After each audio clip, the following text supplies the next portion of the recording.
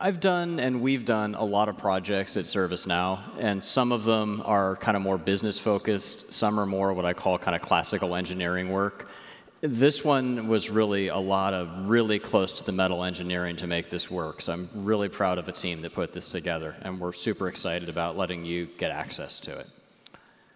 Talking a little more about this lab instance, though, if you think about it, it's a little dated. I mean, we're asking you which labs you want to take. That's kind of last year. Shouldn't we be able to predict the labs that you might want to take? Maybe based on labs you took this year labs you took last year, your job title. It seems like we ought to be able to be a little bit smarter in terms of this app. So we're going to show you how to do that. We're going to show you how to add some machine learning to this application you just saw. So let me bring up Allan Leinwand and Carl Vanderpoel to show you how to add some machine learning. Come on up, guys.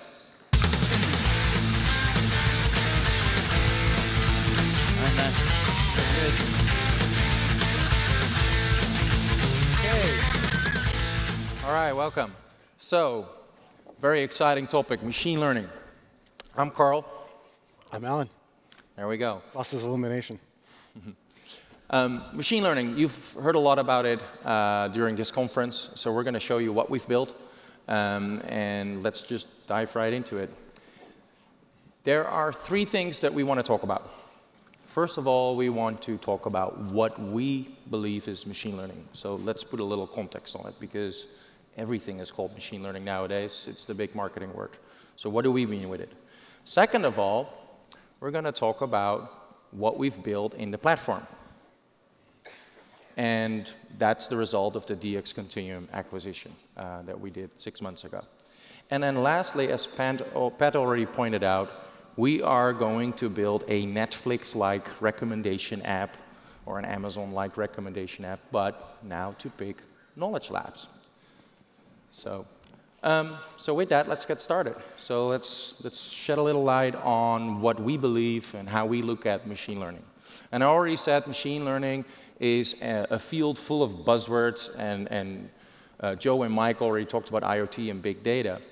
Um, and for those of you who are a little bit familiar with you know, Gartner Group, Gartner typically talks about the hype curve. And the hype curve has a slope of disillusionment, and then eventually a plateau of productivity.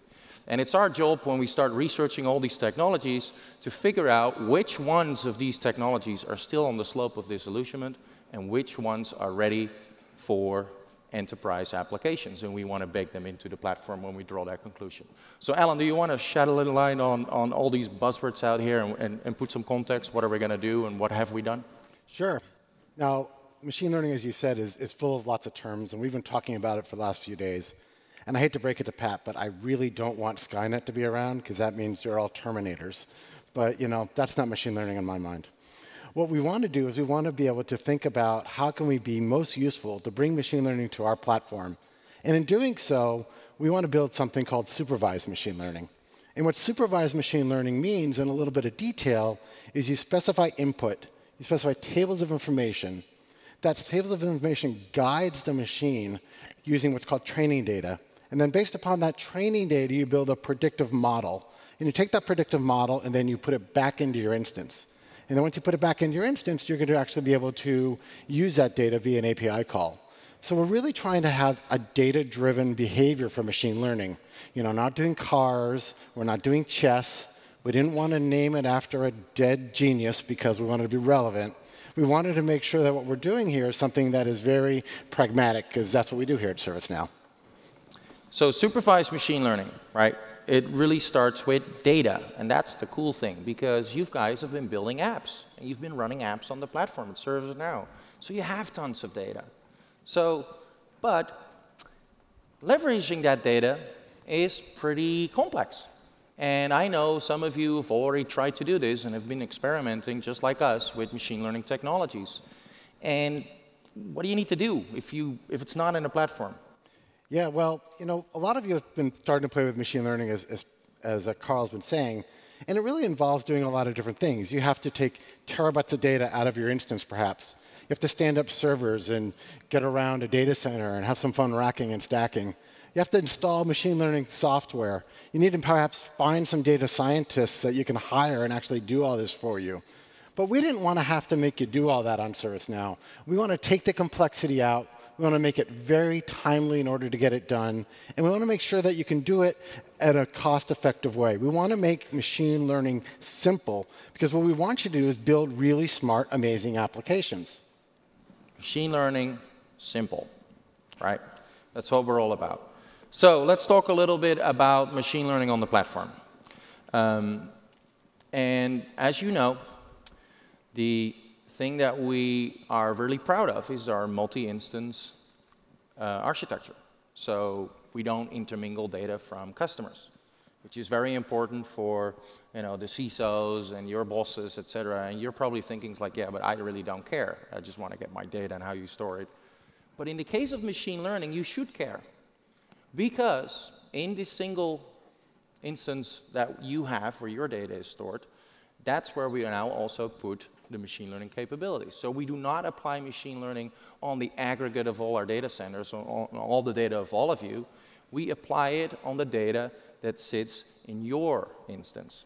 And why should you care? Because that allows that the predictions that we train of your data will be much more accurate and applicable for your business. So that's a really important point. So I, I care, Carl, in case you're wondering. You care. I care. You care about a lot. Um, so earlier this week, we announced the Service Intelligent Automation Engine, and I just put a picture up here from our family portrait. So if you go on our website, you'll probably see this in the next coming days. Maybe it's already there. They probably updated the website. I just wanted to point out on that family portrait what it is that we're going to see and what it is that we're going to talk about. So there are a couple of things. You know, we talked about performance forecasting earlier. Um, that's all about performance analytics. We, you heard about benchmarking this week. You heard about anomaly detection. But what we're now talking about is really predictive modeling. That came with the DX Continuum acquisition about six months ago, and that's what we've been replatforming. So, enough talk. I think we're ready for, uh, for some action. I guess I'm the action man. All right, so we're going to talk about the machine learning demo. Let me show you what I'm going to show you here. We're going to show you how we're going to select historic data by using features in the platform. We're going to produce a recommendation model, and we're going to apply it to an app, and we're going to build an app that really shows you how to make recommendations for the labs you all are going to take next year at K18. So you see what happens here is we're going to pull that data out of the instance. We're going to put it into our centralized training service. That centralized training service stores your data in order to grind through and produce a predictive model. But once it's done grinding through and producing that predictive model, at that point, that data is wiped off the central service. So again, we maintain that multi-instance architecture so your data always lives within your instance and we don't commingle that data. And then at the end of the day, we're going to take that, have that model built into your instance and make a really cool, smart app. That's the goal. All right. So step one is selecting historic data. Are you going to demo it right now? Yeah, I'm going to walk over here and see if I can pull this off. All right, I want to see it. You demoing? Dude, dude personal space. All right, thanks. All right. That screen's not big enough for you? So I'm going to start typing here on uh, the label. Am I far, far enough for you? A little here? farther. A little farther, okay. Thanks. I'm going to go ahead and pick a field that we're going to be able to choose on. So I've picked the table that we're going to pick. I'm going to go off and now choose some fields that we're going to be able to create off this of this. And we're going to say we're going to look at all the information that you've created for the last 12 months. We're going to then figure out what input we actually need on this particular field. We're going to look at class type, class description, user ID, and have that selected as the input into our recommendation engine. On the output of is we want to find the name of the class that you're going to be taking next year at Knowledge 18. And then, you know, there's this thing called the confidence interval. What frustrates a lot of people most about machine learning or things when you interact with machines is they guess wrong and they just do things wrong. So we want to be able to have things guess right. So we're going to set a confidence interval of what we call 95%. So I want this to be 95% accurate. But there's another group of people, uh, executives, that actually we want to have it a little more confident. So let me type in some information here and say that executives, we want it to be 99% confident in terms of what they've done. So basic ServiceNow form, filled out the table we want to use, the input fields we want to train on, the confidence interval we want to generate for our model, and I hit submit. And just like that, we've now started to make machine learning easy for you. So let me get this straight. So we had the, um, you selected the data that went to the training service. That's, That's right. now the training service. And then so now it's producing a model. It's crunching through all that data. It's crunching through it right now, I hope. All right. So how long does that take? Can we take a look? Let's take a look. So if I come back over here, to be honest, the data set in the world of machine learning and big data and billions of data points, labs you've all taken at Knowledge 17 for the past year and things you've registered for isn't that big of a data set. So if everything went well, I'll be able to click in here, kind of scroll down, and see for this particular data set, it's now 100% complete. So we've now produced that model and put it back in the instance already. All right, so what is happening here is what used to be very complex with clusters of machine and extract the data, build a model, put it back in. That's just like a simple form. It actually looks pretty simple. Um, and are we now ready to start using that model? yeah, as, as, we've been talking about throughout the day, we've actually gone ahead and built this application.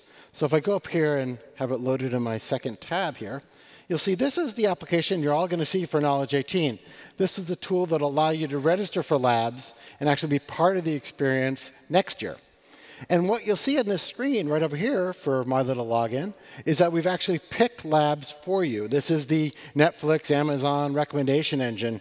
And I think one that I want to apply for here is the industry analyst. It's kind of important with my role to go off and talk to analysts. So I'm going to click into that and you'll see I'm immediately able to register for that lab. No scrolling, no picking, no searching, just boom. Based upon the recommendation that's in the instance, I can have that recommendation presented to me directly. So what we've seen now is we've seen how we can use machine learning and use machine learning within the instance in a very easy to use way, just like you've seen normal ServiceNow applications. It's right into the platform. But what I want to ask you is, what are you going to do in the platform? What are the things that you're going to do to make the platform yours? Are you going to build recommendations in your environment? Are you going to be categorizing and routing work using this capability? Are you going to be doing things like we showed yesterday in the world of customer service or human resources or IT help desks to help those agents get recommendations, categorize and prioritize work, maybe surface knowledge based information? What are you going to do with this capability that's going to be right there in the platform without you having to go off and learn an entire new discipline outside of ServiceNow? That's my challenge to you. Next year, when we're up here, we're going to be demoing your app. Exactly. So let me summarize that and, and capture it. You know, this is really technology that, that is ready for prime time, and that's why we moved, and that's why we replatformed it. Um, this is also the way to increase the productivity. All of you have to do more with less, or with the same amount of people. And all of you have tons of data, right, that you can now start monetizing. You can start learn from that data and start building those recommendations, those agent assists, and, and route your, your work faster and, and more efficient. And that will make sure that you'll improve your average time to response, that your pickup times will go up, and that workflow gets executed seamlessly. And lastly, we really want you to start building smarter apps. So like Allan said, next year at the CreatorCon Challenge, we hope to see lots of smart apps. And with that, I want to thank you all and call Pat back on stage. Pat.